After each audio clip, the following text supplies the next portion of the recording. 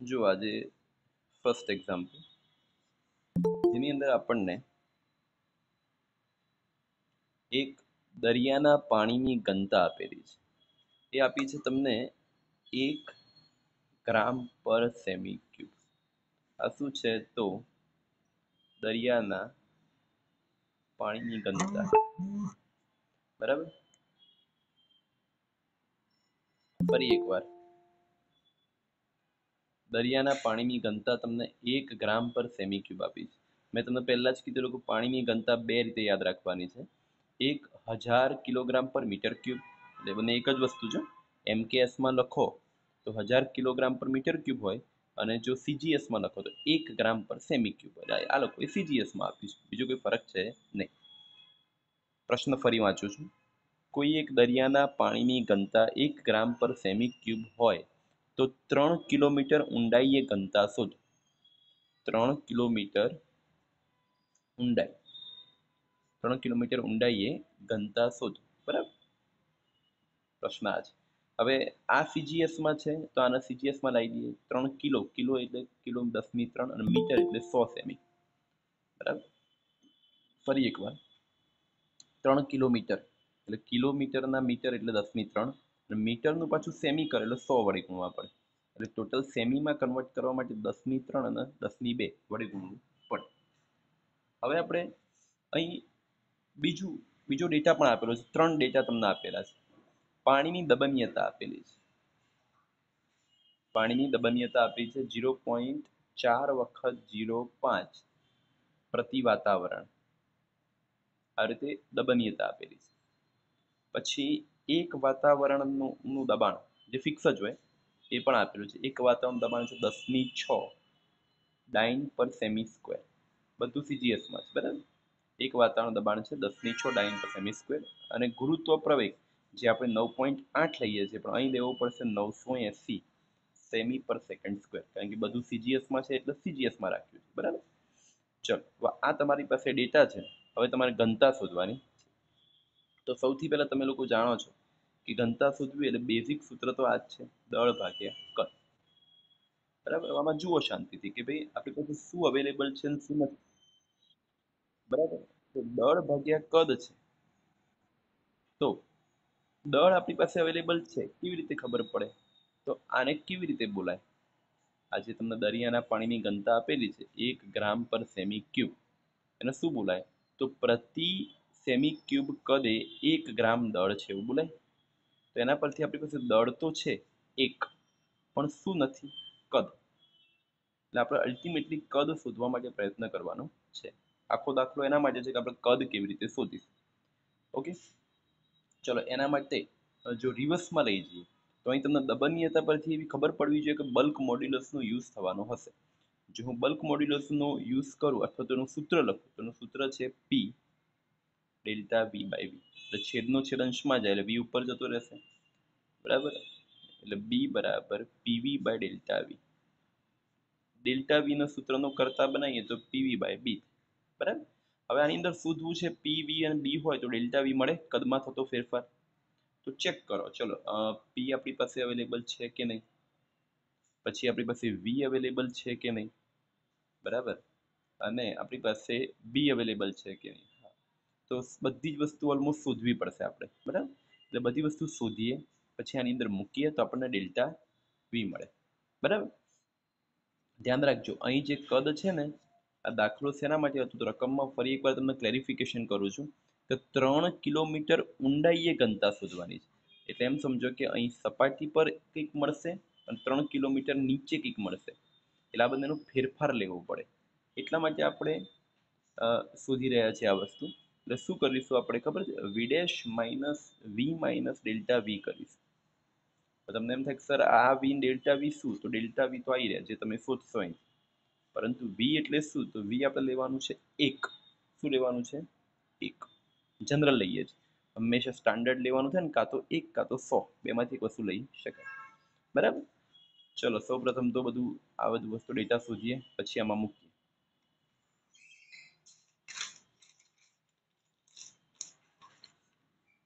સૌથી પહેલા બી તમે શોધી શકો છો. બી એટલે તમને બધાને ખ્યાલ છે કે વન અપોન દબનીયતા. એ બલ્ક મોડ્યુલસ મળે. દબનીયતા તમને આપેલી છે ઝીરો પોઈન્ટ ચાર વખત જીરો અને પાંચ. આનું તમે સાદું આપો તો તમને બે ગુણ્યા દસની ચાર એટીએમ શું મળે? બે ગુણ્યા દસની ચાર એટીએમ આ યાદ રાખજો ખાસ એટીએમ એટલે એટમોસ્ફેરિક પ્રેશર પર. આવું કેમ થયું? જો આ દાખલો ભલે લાંબો ચાલે તમે ધ્યાનથી સમજજો. અહીં કેમ મેં પાછળ એટીએમ લખ્યું? કારણ કે આ જે ઝીરો પોઈન્ટ ચાર વખત ઝીરો પાંચ છે ને, એનો એકમ પ્રતિ વાતાવરણ હતો, જો તમને યાદ હોય તો. દબનીયતાનું એકમ શું હતું? પ્રતિ વાતાવરણ એટલે વાતાવરણના સાપેક્ષે આપેલું. તો જે જવાબ મળશે એ પણ એટમોસ્ફિરિક પ્રેશર પ્રમાણે મળશે. તો હવે આ એટીએમને જો આ કેમ તમને થોડું તકલીફ પડે, આના પછીના ચેપ્ટરમાં બધું વધારે ડિટેલ આવે છે. આ થયું એટીએમ એટીએમનું કન્વર્ટ કરવાનું થાય ડાઇન પર સેમી સ્ક્વેર દબનીયતાનો માટે તો એટમોસ્ફિરિક પ્રેશરમાંથી એક એટમોસ્ફિરિક પ્રેશર બરાબર કેટલા? તો જો બાજુમાં લખું છું. એક એટીએમ આપેલું હોય અને એમાં તમારે ડાઇન પર સેમી સ્ક્વેરમાં કન્વર્ટ કરવું હોય, તો દસની છ ડાઇન પર સેમી સ્ક્વેર થાય. જે આપેલું પણ છે રકમમાં ના આપ્યું તો તમને ખબર હોવી જોઈએ. તો એક એટમોસ્ફિરિક પ્રેશર બરાબર ten raise to six dyne પર સેમી સ્ક્વેર એટલે અહીં આપણે બે ગુણ્યા દસની ચાર ગુણ્યા દસની છ કરવી પડશે. ત્યારે તમને ડાઇન પર સેમી સ્ક્વેરમાં જવાબ મળશે. ટોટલ જવાબ થયો બે ગુણ્યા દસની દસ. ડાઇન પર સેમી સ્ક્વેર આ તમને મળ્યું બલ્ક મોડ્યુલસ તો બી મળ્યું. ઓકે આગળ વધીશ. પછી પી શોધવું પડશે. કારણ કે આપણી પાસે જે દબાણ હતું ને, આ જે આપેલું હતું તમને દસની છ તો એક એટમોસ્ફિરિક પ્રેશર માટે. ઓફિશિયલી આપણે ઊંડાઈએ શોધવું પડે. તો પી બરાબર આપણું સૂત્ર છે જ એચરોજી હવે એચ આપણા કેટલા છે? તો ત્રણ ગુણ્યા દસની પાંચ ગુણ્યા ત્રણ ગુણ્યા દસની પાંચ, જે આપણે કરી ચૂક્યા હતા. યાદ હોય તો કિલોમીટરનું મીટર, મીટરનું સેમી. રો કેટલા? તો રો આપણી પાસે રહેશે એક. પાણીની ઘનતા એક ગ્રામ પર સેમી ક્યુબ જે આપેલી છે અથવા તો યાદ રાખવાની છે. જી આપ્યા છે નવસો ને એસી. અને ગુણાકાર કરશો એટલે તમને બસો ચોરાણું ગુણ્યા દસની છ ડાઇન પર સેમી સ્ક્વેર મળશે. બરાબર? એટલે તમને પી પણ મળ્યો. હવે આપણું જે મેઇન સૂત્ર હતું, જેમાં બધી કિંમતો મૂકવા માગતા હતા, એમાં મૂકી દઈએ. તો સૂત્ર ફરી એકવાર લખું છું ડેલ્ટા વી બરાબર પીવી બાય બી તો જો પી તમે શોધ્યો બી તમે શોધ્યો ને વી આપણે એક લેવાનો, મેં આપણે ચર્ચા કરી. તો જો બધી કિંમત મૂકીએ તો. તો જુઓ પી આપણે આવ્યો બસો ચોરાણું ગુણ્યા દસની છ. વી આપણે એક લઈશું. બી આપણે બે ગુણ્યા દસની દસ. આનો સર્વ હિસાબ કરીએ તો એક પોઈન્ટ સુડતાલીસ ગુણ્યા દસની માઇનસ બે. પ્રતિ સેમી ક્યુબ અથવા સોરી સેમી ક્યુબ મળશે એટલે આ તમને મળ્યું ડેલ્ટા વી ડેલ્ટા વી એટલે કે કદમાં થતો ફેરફાર. પરંતુ આપણે ત્રણ કિલોમીટર ઊંડાઈ માટે શોધવાનું છે. તો શું કરશું? નવી એટલે વી માઇનસ ડેલ્ટા વી કરાય. V one minus one point forty seven ગુણ્યા દસની માઇનસ બે. One minus one point forty seven ભાગ્યા સો લખીએ તો એ ચાલે? દસની માઇનસ બેની જગ્યાએ આવું લખો one minus zero point zero one four seven આની બાદ બાકી કરો, એટલે તમને zero point nine eight five three semi cube મળશે. આ મળ્યા પછી જે આપણે જ્યાંથી શરૂઆત કરી હતી, ઘનતા બરાબર દળ ભાગ્યા કદ. દળ એક કદ એટલે zero point nine eight five three એટલે એક point zero one four nine gram પર સેમી ક્યુબ આ તમને જવાબ મળે આ તમારું થયું ઘનતા. બરાબર દળ ભાગ્યા કદ બરાબર ખૂબ જ લાંબો દાખલો હતો. એટલે જરૂર પડે તો આ વીડિયો બે ત્રણ વાર જોઈ શકાય. તો કેવું દરેક વખતે જોશો ને તો દરેક વસ્તુમાં હું જે બોલ્યો એનો તમને જવાબ કંઈક ને કંઈક મળતો રહેશે. છતાંય જો ટાઈમ રહે તો હું ફરી એકવાર રિવિઝન કરાવું છું. બરાબર? ઉતાવળ નથી કોઈ પણ પ્રકારની. ચલો આગળ જઈશું.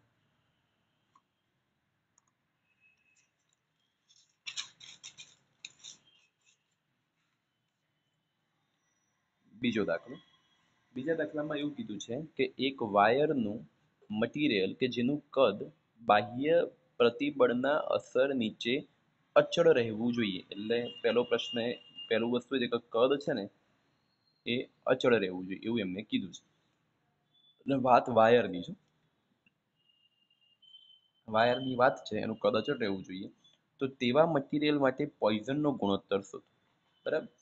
એટલે એનો મતલબ કે આ દાખલો પોઈઝનનો ગુણોત્તર. આઈ થિંક પહેલી વાર એવું આવ્યું કે જેની અંદર પોઈઝનનો ગુણોત્તર શોધવાનો હોય. તો સૌથી પહેલા પોઈઝનના ગુણોત્તરનું સૂત્ર લખી દેવું જોઈએ. જે તમે જાણો છો કે પોઈઝનનું ગુણોત્તરનું સૂત્ર કોઈ પણ માટે, મતલબ આવા ત્રણ સૂત્રો લખ્યા તમે, બરાબર? જેવી જેવી રિક્વાયરમેન્ટ એ પ્રમાણે લખી શકાય. ઓકે આ તો પોઈઝનનો ગુણોત્તર શોધવાનો નથી પણ અહીં આપણે કદ અચળ છે એવો શબ્દ છે. એટલે એના પરથી જ આપણે શરૂઆત કરવાની. હંમેશા ફિઝિક્સમાં છે ને જે શબ્દો આપેલા હોય ને, ત્યાંથી જ આપણને ખબર પડે કે ક્યાંથી શરૂ કરવું જોઈએ. અહીં એવો શબ્દ છે કે ભાઈ વાયરનું કદ અચળ રહે છે તો આપણે વાયરનું કદ જ લઈશું. અને વાયરનું કદનું સૂત્ર જે થાય પાઈ આર સ્ક્વેર શું થાય? વાયરના કદનું સૂત્ર પાઈ આર સ્ક્વેર જો ત્રિજ્યાની જગ્યાએ આપણે ડાયામીટર લઈશું. શું લઈશું? ડાયામીટર કેમ? કારણ કે અહીં આપેલું છે એટલા માટે. તો તમને ખબર જ છે કે ત્રિજ્યા બરાબર ડી બાય ટુ થાય. જે તમે જાણો છો. બરાબર? તો અહીં ડી બાય ટુ મૂકી દો તો ડી સ્ક્વેર બાય ફોર થઈ જશે. એટલે ડી બાય ટુનો વર્ક કરવાનું ને ડી સ્ક્વેર બાય ફોર હવે આ કદ અચળ રહેવું છે. અચળ એટલે કદમાં ફેરફાર થવો જોઈએ નહીં. એટલે આવી જે શબ્દ બોલ્યા વાયર અચળનું કદ અચળ રહેવું જોઈએ કદમાં ફેરફાર ના થવું જોઈએ. એટલે વિકલન આવે. એટલે કોઈ પણ વસ્તુમાં વેરિએશન જોવું હોય તો વિકલન કરવું પડે. એટલે આ જે સમીકરણ છે ને, અહીં લખવાનું વાયરનું કદ બરાબર આ. હવે આપણે વિકલન કરવું પડે. વિકલન કરતા. તો કદ અચળ છે અચળ પદનું વિકલન કેટલું આવે? શૂન્ય. યાદ રાખજો કે બરાબરની આ બાજુ કદ છે, અને કદનું વિકલન ઝીરો કેમ કર્યું? કારણ અચળ લેવાનું કીધું હતું એટલા માટે. હવે આને એમને એમ રાખો. હવે અહીં ગુણાકારનો નિયમ એપ્લાય કરવો પડશે.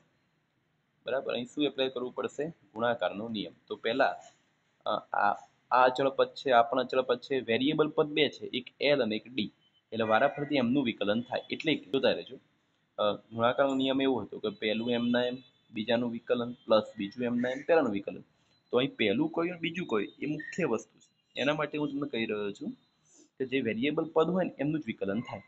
તો એવી દ્રષ્ટિએ જોતા, પહેલું એમ ના એટલે pi L by four pi by four તો અચળ જ છે. એમાં એલ મેં જે એમને એમ રહેવા દો ડી સ્ક્વેરનું વિકલન કરીશ. તો ડી સ્ક્વેરનું વિકલન તમને ખબર છે કે ટુ ડી થાય ઘાત આગળ આવે, ઘાત ઘટે. અને ડીનું વિકલન ઓકે જો અહીં કન્ફ્યુઝ ના થતા તમે ખાસ એકદમ બરાબર ફોકસ રાખજો. અહીં છે ને હું કેપિટલ ડી કરી દઉં. કેમ? એવું તમને કહું હવે. છે તો બધું સરખું જ. પણ કેપિટલ ડી રાખું છું. કારણ કે કન્ફ્યુઝન ના થાય. હવે અહીં છે ને, એ આવશે ઓકે તો ડી સ્ક્વેરનું વિકલન ટુ ડી થાય. હવે ડીનું વિકલન થાય. એ થાય આ મેં આવી રીતે કર્યું કે ધારો કે એક્સ સ્ક્વેરનું વિકલન ટુ એક્સ થાય, ને એક્સનું વિકલન ટુ ડી એક્સ થાય. એટલે ટુ એક્સ અને ડી એક્સ પહેલું ઘાતનું વિકલન થયું. પછી એક્સનું વિકલન શું થાય? ડી એક્સ એવી રીતે અહીં મેં ડી સ્ક્વેરનું વિકલન ટુ ડી પણ ડીનું વિકલન ડીડી એટલે જો મેં કેમ કેપિટલ ડી કર્યો? કારણ કે સ્મોલ ડી લખાત તો સ્મોલ ડી સ્મોલ ડી લખાત તો કન્ફ્યુઝન થાય. એટલા માટે. પછી વચ્ચે પ્લસ બીજું એમના એમ સોરી પહેલું એમના એમ બીજાનું વિકલન. બીજું એમના એમ બીજું એટલે શું? બીજું એટલે શું? તો બીજું થશે pi D square by four હવે એલનું વિકલન ડીએલ કારણ કે પાઈ બાય ફોર તો બંને કેસમાં અચળ જ છે. હવે ડી સ્ક્વેર લઈ લીધું મેં અચળ અને એલનું વિકલન ડીએલ કર્યું. બરાબર? હવે જીરો એમને એમ રાખો. બંનેમાંથી શું કોમન નીકળે છે? તો પાઈ બાય ફોર અને I think D I hope so બરાબર? બધાને દેખાતું જ પાઈ બાય ફોર બંનેમાં કોમન છે કેપિટલ ડી એક જ કોમન નીકળે કારણ કે આ તો ડીડી જોડે જોડાયેલો છે, એટલે ફક્ત એક ડી તો અંદર શું રહે? પાઈ બાય ફોર ડી એટલે કે two L D D I think પહેલા કેસમાં અહીં જોતા રહેજો. પ્લસ બીજામાં શું રહેશે? તો ડી ડી એલ આવું રહેશે. અને આ જે કોમન નીકળ્યું પદ, આ બાદ જાય ઝીરો થઈ જાય, એટલે પછી આટલું જ વધશે પાછું. તો તો શું થશે? જીરો બરાબર two L D D plus D D L okay હવે આપણે ડીડી બાય ડી શોધવું છે. તો આ એકના આ બાજુ લઈ જઈએ. તો minus two L D D બરાબર ડી ડી એલ હવે આ ડી ડી ની ભાગ્યા ડી કરી દઈએ. એટલે આ ડી નીચે લાવીએ. તો પેલી બાજુ થશે D L minus two L થાય આવું?